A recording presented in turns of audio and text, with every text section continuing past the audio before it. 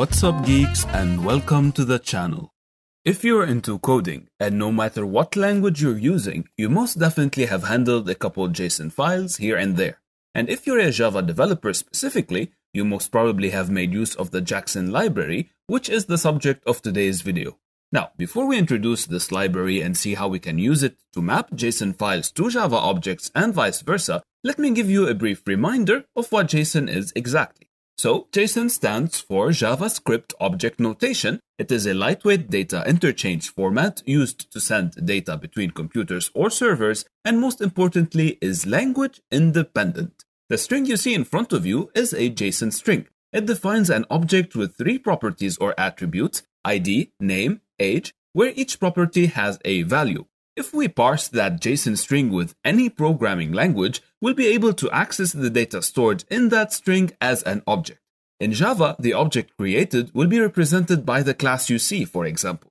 But why do we even need to do that? Why go through the process of serializing and deserializing that object into a JSON string in the first place? You see, the JSON format is text only, meaning JSON data can easily be sent between computers and used by any programming language.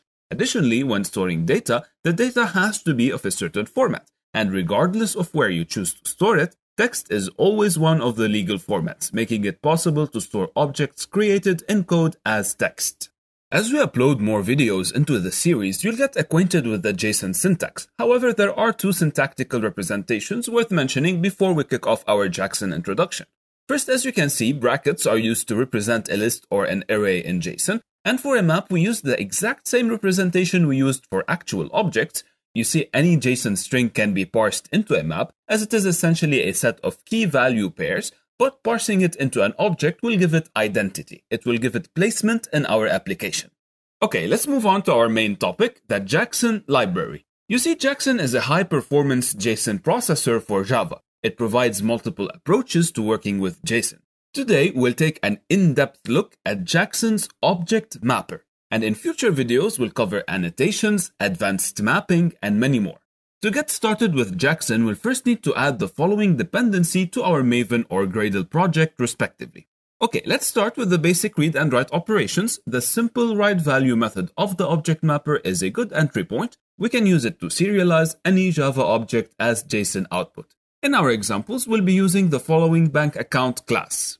So here, we are writing the following object into the bank account.json file located under our resources folder. Also, the method write value as string generates a JSON from a Java object and returns the generated JSON as a string. Object Mapper can also be used to parse or deserialize JSON content into a Java object with the readValue method. This method can be used to parse strings as well as JSON files similar to the one we just saw. Alternatively, a JSON can be parsed into a JSON node object representing the root of a JSON tree and this root can be used to retrieve data from a specific node. In this example, we are retrieving the bank account holder name specifically and not the whole object. A JSON string in the form of an array can also be parsed into a Java array by enabling the use Java array for JSON array configuration as we did in this code snippet. Or we can parse it into a list of the specified Java object using a type reference as you can see in front of you. Additionally, a JSON string can be parsed into a Java map. Like we previously mentioned, any JSON file can be parsed into a map. Okay, now one of the greatest strengths of the Jackson library is the highly customizable serialization and deserialization process. While converting JSON objects to Java classes, in case the JSON string has some new fields, the default process will result in an exception. The JSON string in the example you see will result in the unrecognized property exception, as our initial JSON does not contain the join data attribute. Through the configure method, we can extend the default process to ignore the new fields like this. Another option is based on the fail on null for primitives, which defines if the null values for primitive values are allowed. Similarly, fail on numbers for enums controls if enum values are allowed to be serialized or deserialized as numbers. Another essential feature of the Object Mapper class is the ability to register a custom serializer and deserializer. Custom serializers and deserializers are very useful in situations where the input or the output JSON response is different in structure than the Java class into which it must be serialized or deserialized.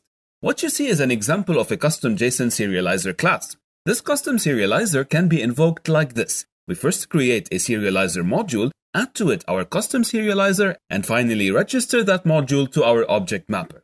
The output of invoking this custom serializer on a bank account object is the JSON string you see in front of you. What you see now is one example of a custom JSON deserializer. And this custom deserializer can be invoked in a very similar way to the serializer. We first create a deserializer module, add to it our custom deserializer, and finally register that module to our object mapper.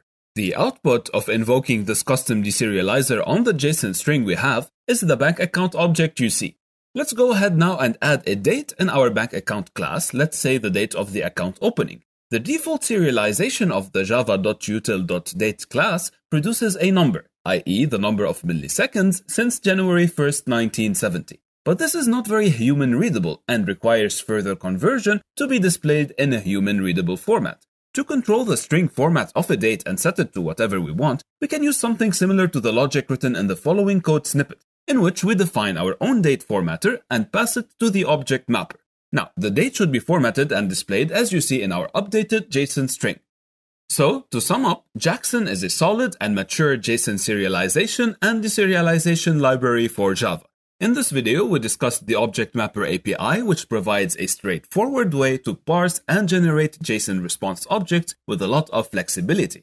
In upcoming videos of this series, we'll be tackling several annotations offered by this library, as well as more advanced features that will help us serialize and deserialize JSON files and strings.